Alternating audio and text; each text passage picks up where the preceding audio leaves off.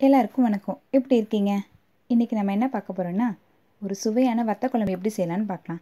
வத்த குழம்பு செய்கிறதுக்கு அது சுவையாக செய்கிறதுக்கு ஒரு மூணு டிப்ஸ் சொல்கிறேன் அதை ஃபாலோ பண்ணிங்கன்னா கண்டிப்பாக உங்களோட வத்த குழம்பு செம்ம டேஸ்ட்டாக வரும்.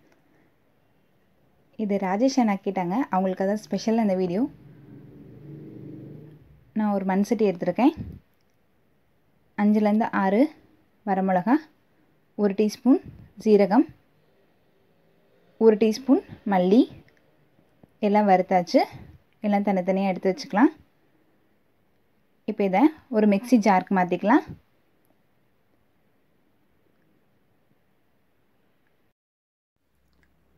பத்துலேருந்து பதினஞ்சு சின்ன வெங்காயம்.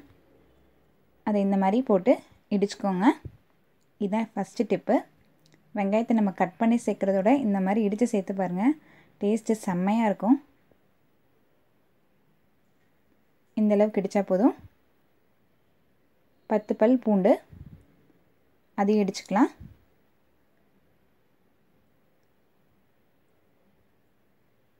இப்போ மண்பானை எடுத்துக்கலாம்.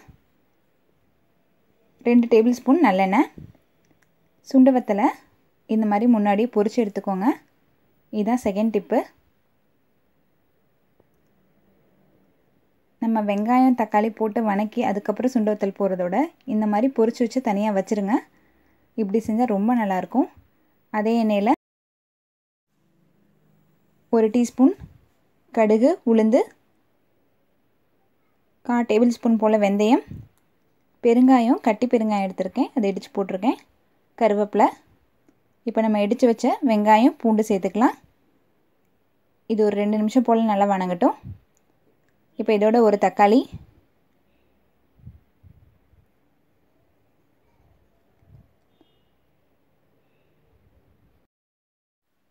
இப்போ இதோட நம்ம அரைச்சி வச்சுருக்க மிளகா மல்லி சீரகம் அதை சேர்த்துக்கலாம்.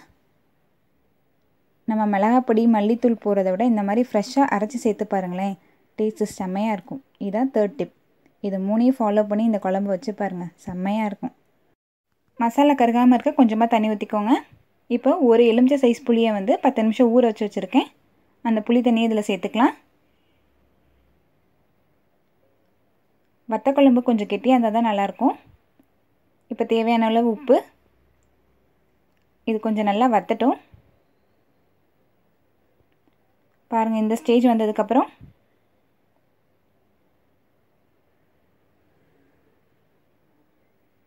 பாருங்கள் எண்ணெயெல்லாம் எப்படி தனியாக பிரிஞ்சு வந்திருக்கு.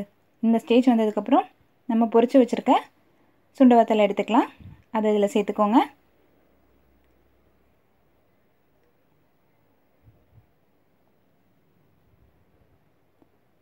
குழம்பு வத்திருக்கு இந்த ஸ்டேஜில் ஆஃப் பண்ணிடுங்க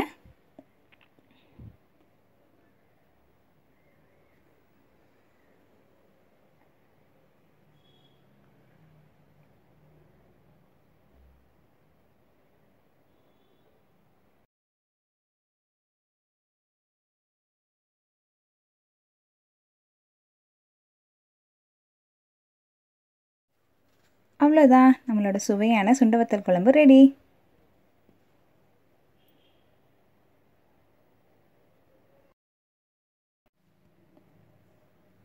குழம்பு எடுத்துகிட்டு அந்த மண்பானையில் குழம்பு ஒட்டியிருக்கிறதுல சாப்பாடு போட்டு சாப்பிட்டு பாருங்களேன். சும்மா டேஸ்ட் அப்படி இருக்கும். குழம்பு வச்சுருக்கிறத விட இந்த மாதிரி குழம்பு மிச்சமானது அதில் ஒட்டியிருக்கிறதுல சாதத்தை போட்டு சாப்பிட்டு பார்த்தீங்கன்னா செம்மையாக இருக்கும். நன்றி